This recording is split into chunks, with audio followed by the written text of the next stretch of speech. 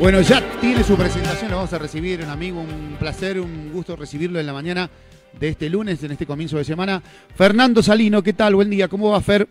Bien, buenos días, ¿cómo les va? ¿Cómo están? Bueno, aquí estamos en este comienzo de semana, contando los días, muchos y muchas que nos están escuchando en la FINUR, ya están en modo mundial, viste que lo venimos charlando, lo venimos comentando, está todo el mundo ya pensando en eso, que si Messi, que cómo está Messi, que cómo iba a jugar Messi ayer en el PSG, que no se lesionara, que ya llegaron una gran parte de argentinos eh, a Abu Dhabi para jugar el, el amistoso frente a Emiratos Árabes. Bueno, expectativa, casi, no todo, pero bueno, ya casi modo mundial, ¿no?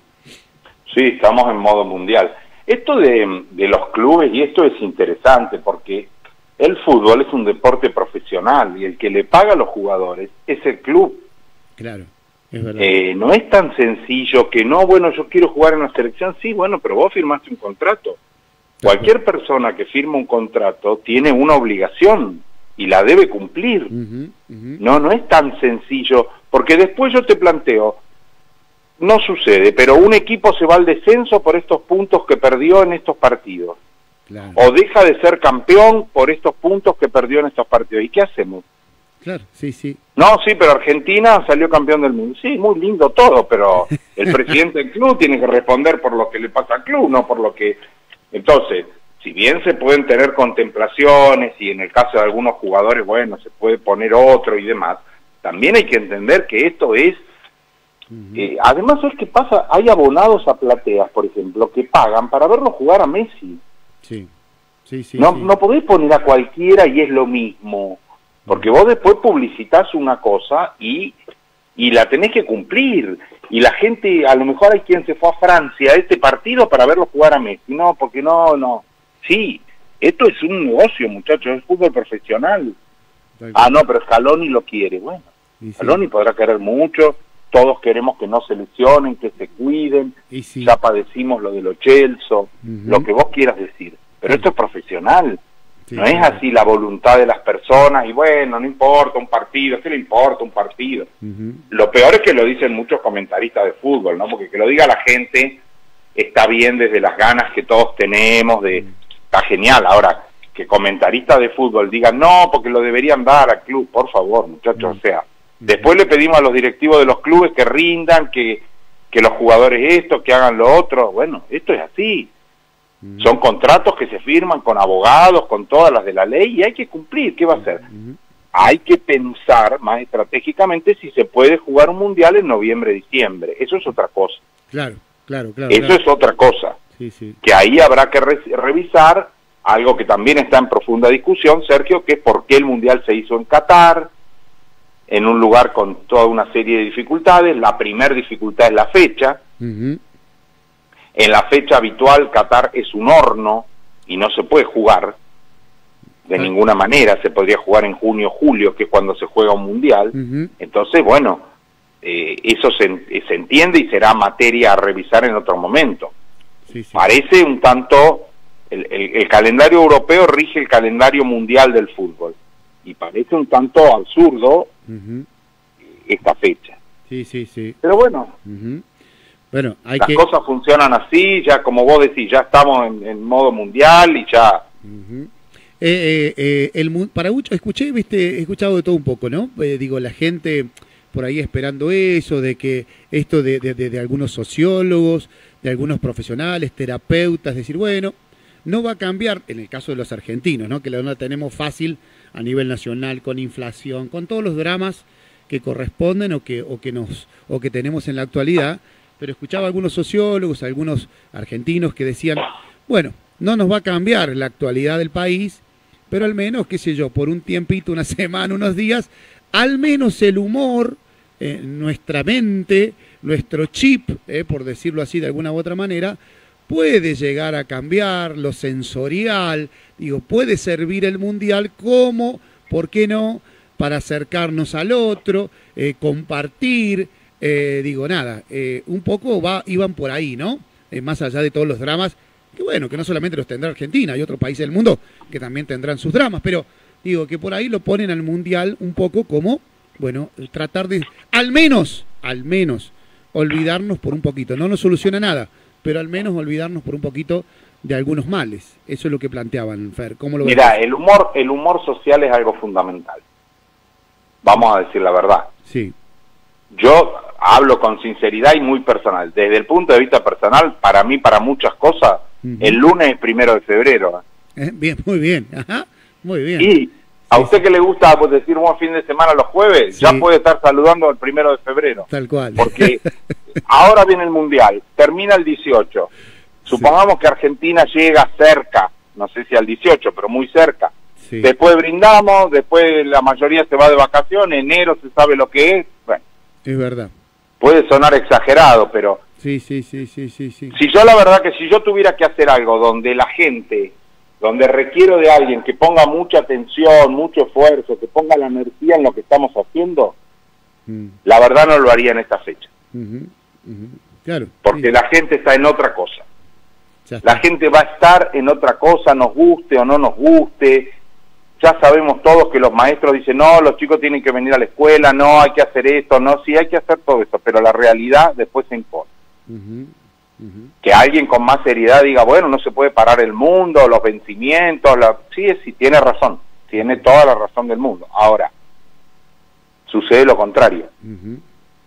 El país es futbolero, se, se vuelca absolutamente a esto y, y, la atención y la energía están puestas en otra cosa.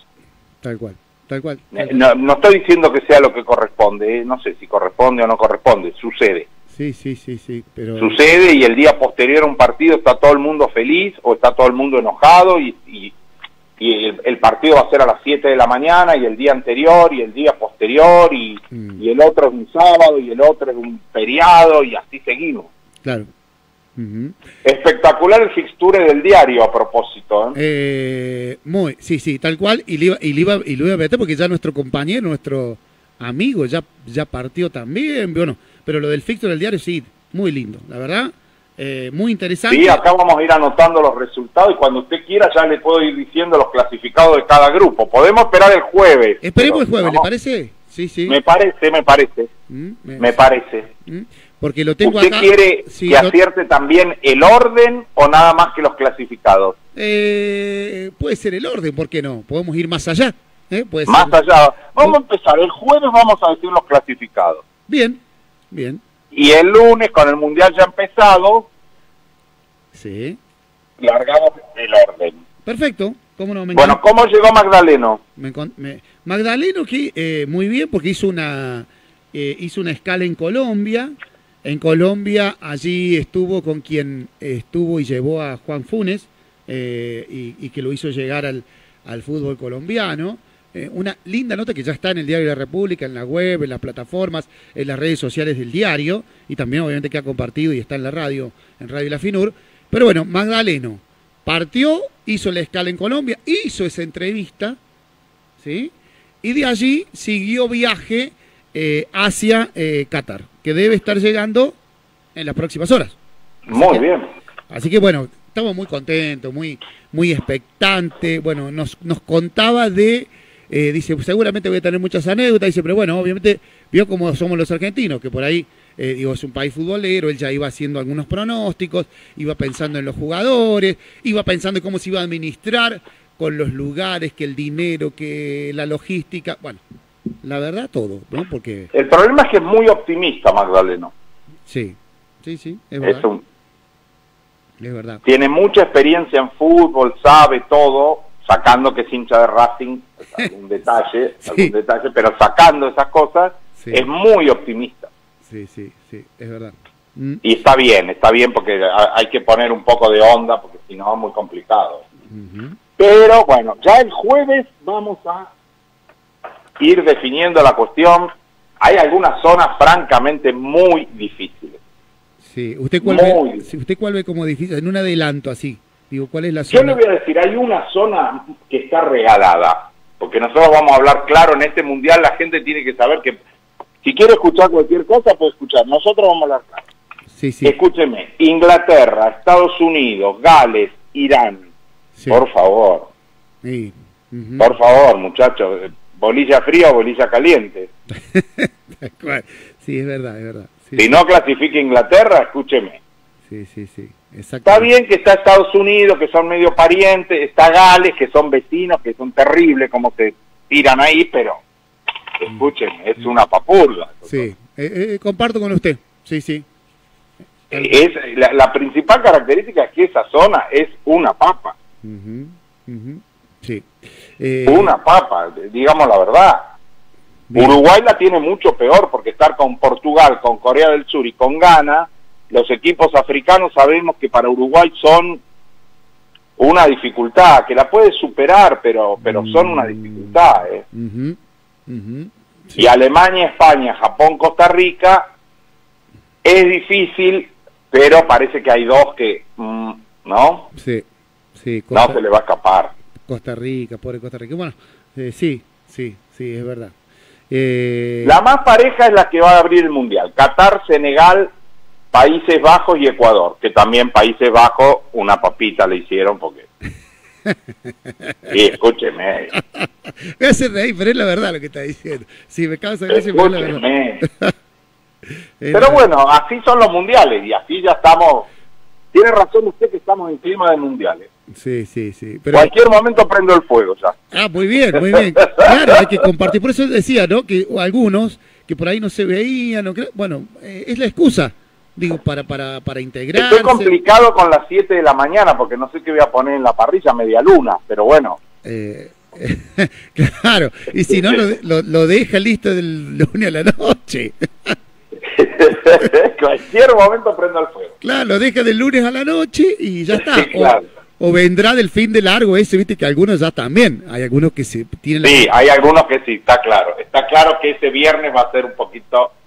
El lunes a la noche va a estar complicado. ¿eh? Eh, y, es como que el martes, es como que no sé, se va, me parece a mí, no sé, a lo mejor me equivoque, pero es como que el fin de largo ese se va a extender yo no sé si después, al mediodía recién, si es que no, algunos dicen, bueno, ya está perdido el martes, chao, arrancamos el miércoles. Y empieza como usted el martes, dice buen fin de semana y ya el sábado está el otro partido. y Claro.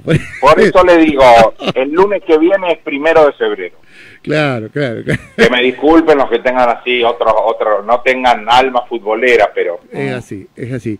Eh, pero bueno, el jueves vamos a empezar, eh, lo tengo el polaco acá, Altavilla, que está ahí, quiere anotar, quiere, quiere estar atento, porque dice que va a hacer la seguidilla, según él también. Así que bueno, Muy bien. Eh, vamos a estar expectantes. Ya comenzaron los binacionales aquí en, en San Luis, en las distintas especialidades, hay una gran expectativa con eso, que se va a jugar hasta el, hasta el jueves. Le hago un repaso así rápido de, de, de, acciones. Y hoy empieza el Panamericano de pelota vasca. Eso le iba a decir, tenemos, le iba a decir, tenemos todo junto, pero está buenísimo porque es para todos los gustos hay. Está buenísimo. Sí, ahí para todos los gustos. tiene que ser, así tiene que ser, mucha actividad. Eh, Jepu que levantó cabeza de nuevo. Qué bien, qué bien el Jepu, qué buen triunfo, qué buen triunfo y holgado, digamos, de alguna manera. ¿eh? Dominó todo el partido. Le hemos dado suerte a los cordobeses para que asciendan a la segunda división de la Liga del Fútbol Argentino. Sí, muy polémico el primer partido de estudiantes de Casero Instituto. ¿eh? bueno, sí. Hay un mar de fondo ahí que ni le cuento. ¿eh? Sí. Sí, sí, sí, sí, sí, Pero, parece, parece que es el año de los cordobeses, porque si ahora también Racing de Córdoba, Belgrano de Córdoba y ya está listo instituto, Dios mío. Todo de Córdoba, todo, todo, todo. Va a ser una cosa de... Todo de Córdoba. Vamos a tener tres cordobeses en la primera categoría posiblemente. Y claro, claro, posiblemente. Y ahora otro cordobés en la segunda categoría del fútbol argentino. Ya está Estudiantes de Río Cuarto sí. y, y ahora Racing de Córdoba. Tal cual. Tal cual. Y bueno, eh, yo sigo soñando con los nuestros, eh, con los de San Luis en algún momento que se nos dé, en algún momento se nos tiene que dar. Yo te sigo, no pierdo la esperanza. No pierda, no pierda la esperanza, pero aparte de soñar puede hacer alguna cosita a ver si lo consigue. Claro, claro, porque no siempre tenemos que también por qué no involucrarnos un poquito, exactamente. Exactamente, a ver si a ver si lo logramos. Sí, tal cual, tal cual, Fer. Bueno, eh, le, deseo una buena semana. Obviamente vamos a prepararnos para el jueves. Estamos listos para el jueves. Abrazo grande. Abrazo grande. Eh, Fernando Salino en la mañana de Radio de la FINUR. Eh, bueno, obviamente con, su columna. Y, es cierto, ¿no? Por ejemplo, Ana Laura ya está, mire, ya trajo cositas del Mundial, té del Mundial, eh, yerba del Mundial. No es la yerba de los jugadores, porque los, jugadores toman. Esa es la No, qué traidor. ¿Cómo va a tomar yerba uruguaya? ¿No? Bueno, no, entonces no. no se pierde la cábala, si tiene que tomar yerba Nacampop. ¿eh? Claro, tiene que ser alguna yerba argentina, de Misiones, de, algunos lugares que, obviamente tenemos buenos productores de yerba. Pero bueno, Nara Laura está con los jugadores argentinos. Dice que toman yerbas uruguayas. Bueno, eh, ¿usted, Pocha, que toma yerba argentina o uruguaya? Bueno, se le tapa el mate. Y el rey Casela también toma yerba uruguaya. Si usted toma esa, la canaria, calandria, ¿cómo se llama? El rey verde es extranjera también. Mm, bueno. Eh, Magdaleno está llegando a Qatar. Prepárense porque ya los vamos a recibir en cualquier momento. Vamos a comenzar a tener sus salidas y su participación desde allá. Estuvo en Colombia, le charlábamos con Fer Salino recién, que estuvo haciendo un pasaje por Colombia. Allí estuvo con Guillermo Ruiz, dirigente que llevó a Juan Gilberto Funes a Colombia, Millonarios. Eh, bueno, nada, ¿quién, viste, cada vez que nombras al Búfalo, se te vienen a la mente un montón de cosas. Y, el Búfalo, obviamente, que sigue siendo parte de nuestra puntanidad, eh, a flor de piel, ¿no? Y recordamos, recordamos al Búfalo en la selección. Hay una barra en Colombia que lleva el nombre del Búfalo, claro, recordándolo al, gran paso del Búfalo por, por, Colombia, ¿no? Tremendo jugador, tremendo jugador. Eh, nuestro cariño siempre, y vamos a recordarlo siempre, ¿no? Bueno, y ahí estuvo, porque eh, Magdaleno dejó las valijas del aeropuerto, hizo la escala, salió rápido corriendo, se tomó un taxi, no sé cómo hizo, hizo la entrevista y se volvió al aeropuerto para seguir a Qatar. No, no. Mirá que es un riesgo tremendo eso es un riesgo total. ¿eh? Por ahí las valijas siguen y vos te quedaste y perdiste el vuelo y te dicen, no, discúlpeme, usted llegó tarde. Llegaste al mostrador, no, lo lamento, por boludo, le dicen, usted se va a tener que pagar el vuelo de nuevo. No, pero mira, bueno, puede pasar eso, ¿eh? puede pasar. Pero Magdaleno tiene todo ajustado, todo controlado, todo bajo control, así que, bueno, ya está rumbo a Qatar y nos encanta y lo vamos a tener. Vamos a tener un programa especial con Radio La Finur todos los días, desde el lunes 21 a partir de las 13.30. Eh, así que, bueno, hay chicas días que, ¿no? Ustedes sí o sí salen todos los días. Todos los días ustedes van a salir, todos los días. Porque los partidos, no, no hay ningún partido que se juegue a las 10 de la mañana. Así que, hora argentina. Así que, eh, no, todo modo mundial. Lo acaba de escuchar salir usted, todo modo mundial. Así que ahora, ¿qué se hace en el mundial? ¿Cómo se disfruta? Bueno, usted haga la biografía que quiera de los jugadores. Eh, haga lo que quiera, Agostina. Usted habló con el director y arregla todo. Eh. claro, tal cual. Eh, llegamos al final. buen comienzo de semana. Quédense con las chicas. Está Agostina, está La Pocha, está Ana Laura. Prepárense que han tenido un fin de semana orgulloso y on fire. ¿Frío? No me digan que tenían a la noche, pero no me digan que tenían frío con esa juventud. No pueden tener frío, esa juventud. ¿Qué queda para mí?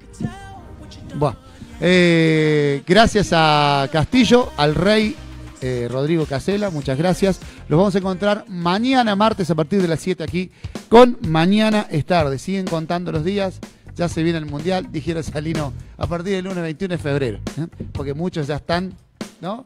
en otra cosa. Gracias, hasta mañana.